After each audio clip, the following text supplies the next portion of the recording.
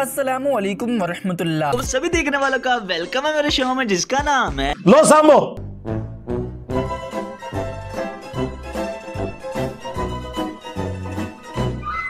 और सवाल किया जाता है नॉर्मली कि आप लोगों के बयान सुने तो उसमें वाकयात बहुत होते हैं कहानियाँ बहुत होती हैं कुछ कुरान हदीस की बात भी किया करें। बड़ा ही औखा काम है। तो क्या मतलब वाकया बयान करना? हाँ।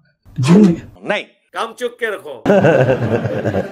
वाकया में एक नफसियाती तौर पे अट्रैक्शन होता है। और ये अपने बुज़ुर्गों के करतूतों की वजह से मुँह छुपाते फिर रहे हैं। तो पेतुआ अल्हम्दुलिल्लाह अब तो लाखों की तो करोड़ों की मतलब के बहाने हैं।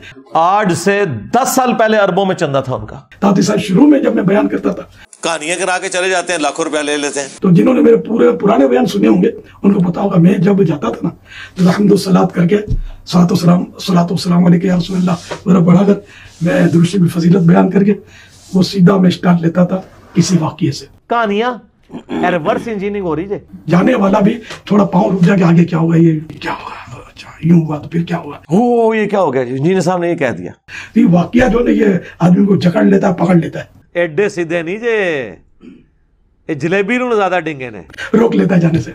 ये सुनकर फिर मस्जिद सुनेगा तो वो घर क्या बोलता मस्जिद का रुक करेगा आज ईशा की नमाज़ पढ़ी नहीं अभी तक? चलो यार पढ़ लेते हैं। एक मैंने समझाने के लिए आज किया आपको। बहुत चंगा नाम है उधर में से मैं आपको एक बात बताऊं कि अब तो आपने खैर कुरान हदीस की बात कर ली कुरानो दीस दे कितु ਤੁਹਾਡਾ ਕਿ ਕੁਰਾਨੋ ਦੀਸ ਨਾਲ ਲੈਣਾ ਦੇਣਾ ਹੈ ਲਿਖੋ ਕਿ ਬਾਬੋं की किताबों के मुनाफी हैं चिश्ती रसूल्ला पार्टी ਦਾ के ਲੈਣਾ ਦੇਣਾ कुरानो दीस नाल आओ ना दाड़ थले। मगर दुनिया ने भी अब इस बात को पहचाना है कि क्या स्कूल क्या कॉलेजेस बच्चों को भी कोई बात सिखानी है तो वो स्टोरी के ज़रिए बात जल्दी समझ आती है। हाय मैं सदके जावा कोई सबक देना होता है तो उसके पीछे को स्टोरी सुनाते हैं ताकि उसके बाद वो जहन में आ जाए कि उस स्टोरी से सबक क्या मिला। छाड़ दो अब्दुल कादर पे आ गया। हाँ। तो एतराज़ वाकई बनता तो नहीं है लेकिन चले आज तो आपने बड़ा ही जिसको कहें कि क्लेरिफाई जवाब दे दिया कि जब कुरान में वाकयात है अदीस में वाकयात है और वाकयात के ज़रिए बात समझाना मकसूद होता है। देखो पर किस चीज़ को किससे मिलाया हुआ इन्होंने? और ऐसा तो नहीं है कि मेरा ख्याल आपके बयान में सिर्फ़ वाकयात हो फिर कुरान हदीस भी बयान करते हो। पढ़ते हैं पढ़ते हैं पढ़ते हैं। मौके की मुनासबत से चल रहा होता है। कहने को तो बड़े अच्छे लगते हैं और वो आपको पता है वो जो लोग सूफिया बैठे होते हैं वो ऐसे ऐसे काँप रहे होते हैं और ऐसे महजूज हो रहे होते हैं कोई रो रहे होते हैं। एवं कहानियों होते हैं। वो कोई गल होवे, कोई बुनियाद हो, और फिर बुनियाद भी नहीं, उल्टा कुरान और सुन्नत के खिलाफ तालीमात है।